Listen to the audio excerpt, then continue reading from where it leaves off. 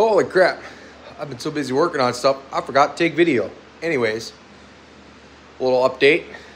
Taking the Pro X 600 Ice Racer, which I'm sure a lot of people don't even realize I owned.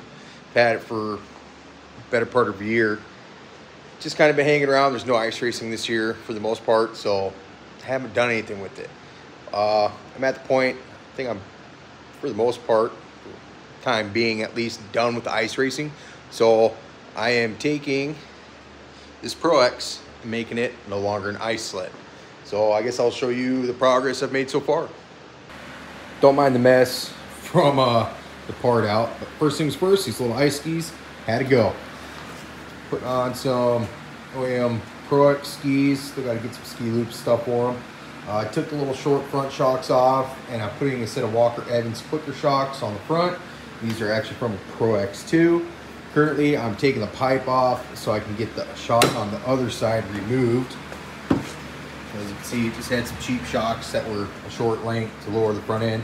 But got to get the pipe off, get the top bolt out of the shock, and I can throw this other one in. Because I do actually have to pull the skid. This is actually an extra 10 rear skid. The reason they swapped that is X10s are easier to set up ice than a Pro X skid. So get that pulled out, throw a Pro X in it, probably swap the track.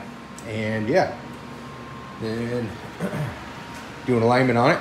And it should pretty much be ready for snow. It's just a little 600 small block. Uh, as far as I know, it's stock, except for an SLP can. But it seemed to run pretty good. Took it up down the street, I think dead hooked. It actually ripped pretty good, not gonna lie. Not gonna be like crazy fast or nothing, but it definitely put all the power this thing makes down to the down to the ground. It skidded. Uh, have to get rid of this windshield. It's honestly when you turn, the windshield hits the brakes. If you turn to the right, turn to the left, hit your hand between the handlebars and the windshield. It's not ideal, but just makes progress. Gonna turn this thing into a trail ripper. Hell yeah. Okay, I've been pretty bad at doing updates on this one so far, but this is where we're at. We got the Walker Evans front shocks on. I still need to cut some holes in the tub to be able to put the uh, clamps on that hold the reservoir up. But those are on. Got some random skis on it for the moment. Just probably not the one that will run, but maybe. I don't know. Still need to get new bolts because these ones are a little short. Uh, cleaned it up a little bit. Didn't wipe it down or nothing, but got the leaves out. Went ahead, pulled the chain case apart. So I'm gonna swap the track. Keep the ice track somewhat decent. And uh, went ahead and pulled the rear skid out of one of my Pro X2s.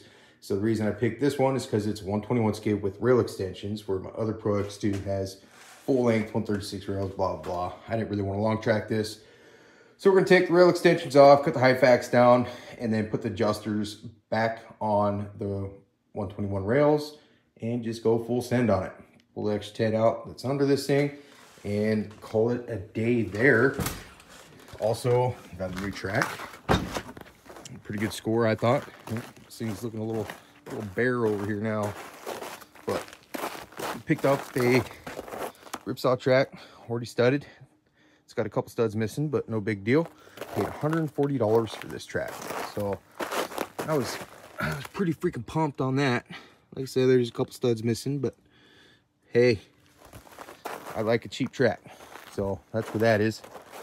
Gonna throw this on the X and yeah, progress. Basically just trying to do what I can and get the thing back on the trail for more or less as cheap as possible with things I have around and or can purchase for cheap. I'm not gonna go out spend $600 or 700 on a brand new track and then another two, 300 bucks stud it. Just not gonna do it. I mean, let's be honest, I paid $600 for the whole sled.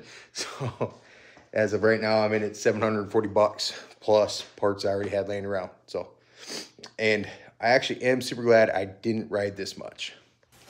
The reason for that being is when I pulled my chain case cover off, it was pretty much dry.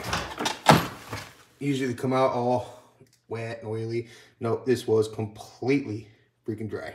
So yeah, I only rode this thing for maybe 500 feet up and down the street and that was pretty much it. So anyways, back to working on this stuff. Get the skid ready to go in before I start tearing everything else out. Anyone need a uh, X10 that was set up rice? Come on.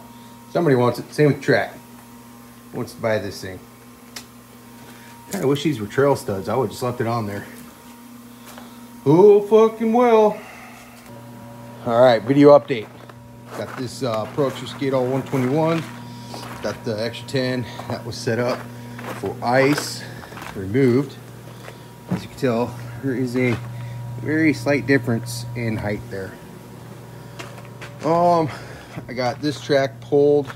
I had four picks per uh, bar. Unfortunately, I wish these were freaking trail studs, but they're not. So, can't. I mean, you can run it on the trail, but they won't last very long. So, because these ones aren't the sharpest ever, they need sharpened. But you can look at the difference between that one and let's say, I don't know, another track. Oh, look at that. See.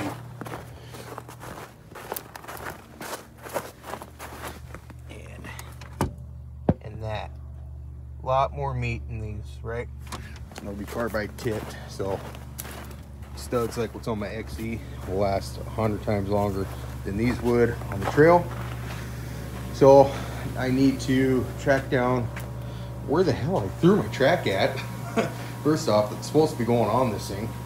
Get the track tossed in there and uh, throw this Pro. This is a Pro X2 rear skid.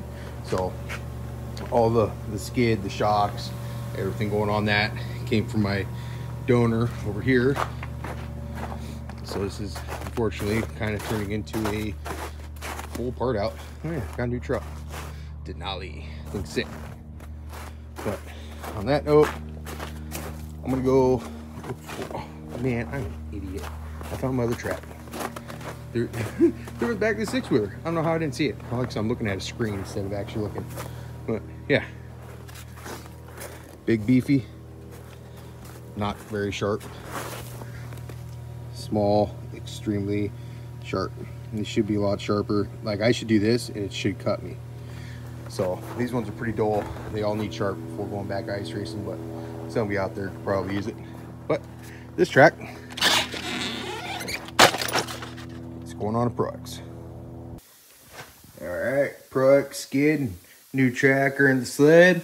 Throwing the old chain case back together. Maybe uh, this time it'll actually have some lube because I pulled this thing apart and it was completely dry. You can almost see like a little bit of rust starting on the chain. So gotta get this back together, get it topped off, chain case fluid, and uh, yeah, from there, throw the exhaust. Well, no, I'll skip the exhaust for now. I still gotta put holes in my tub, mount reservoirs. Getting ahead of myself. But anyways, gonna get this done and the uh, cap on the other side of the drive shaft installed. Get moved on from there. Okay, chain case all back together. Got this side of the drive shaft back together. Now this is an opportune time to go ahead and grease that bearing. Okay, along with your jack shaft. So I'm gonna go ahead and not do that right now because I know I know the drive shaft is nice and greasy. And uh, yeah, I'm gonna throw my clutch back on and hell. I think from there I could throw the exhaust, oh, freaking reservoirs. I keep forgetting about those. All right, we're getting closer though. Put the clutch on. Okay, exhaust is all back on. And uh, I already checked it out. It I've already had it running, but just for you guys, I'll fire it back up. I got to mount the tether still.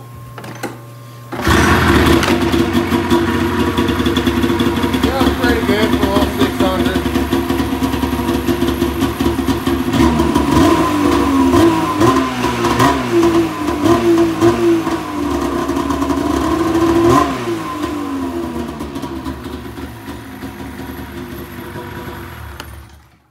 Yeah, she don't sound bad. Super run little 600. Uh, front reservoirs are all mounted up. I gotta figure out my ski situation still. My bolts are a little too short and this ski's actually missing the bushings that go in the plastic on the sides and the carbides wore out. So I gotta figure out what the hell I'm gonna do for skis. But other than that, she's up, she's running. The new skid tracker in. Still gotta tighten it up. And uh, I guess put the hood back on. But honestly, for now, I'm gonna call this done for this video. Stay around, next video, we'll take this thing out and I'll have the track tightened up, different skis on it stuff, hood. yeah. Stay tuned. See how this thing does on the trail.